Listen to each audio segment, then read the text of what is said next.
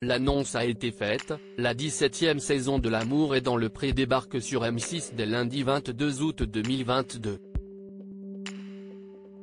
Après la diffusion des portraits en début d'année, Karine Le Marchand ira à la rencontre des 13 agriculteurs venus chercher leur moitié cette année.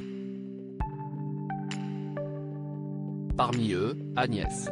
Elle a 56 ans, est maître brasseur et vient du Grand Est.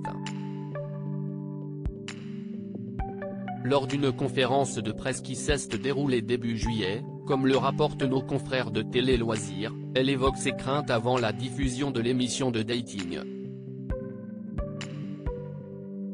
Cette participation à l'amour est dans le pré, Agnès la prépare depuis bien longtemps. En effet, elle regarde l'émission depuis son canapé depuis la troisième saison. Après quelques expériences sur des sites de rencontres qui n'ont pas abouti, elle a pris la décision de s'inscrire pour espérer à son tour trouver l'amour devant les caméras de M6. J'ai bien regardé la saison 15, pour être sûr de mon choix vis-à-vis -vis de mes proches, afin que mes filles ne soient pas gênées si je passais à la télévision, confie-t-elle.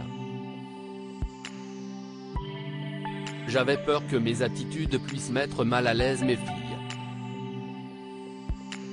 Elle côtoie du monde.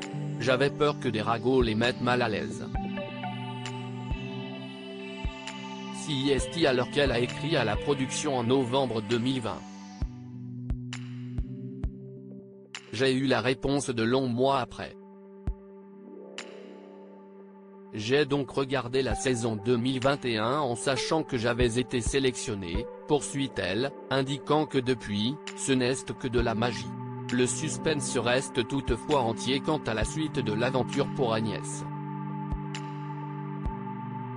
A-t-elle trouvé celui qui l'accompagnera pour le reste de sa vie?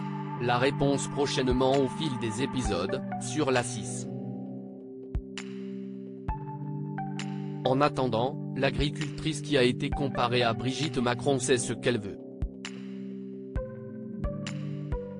Rappelons qu'il y a 5 ans, elle s'est séparée du père de ses trois filles, dont des jumelles, après 30 ans de vie commune.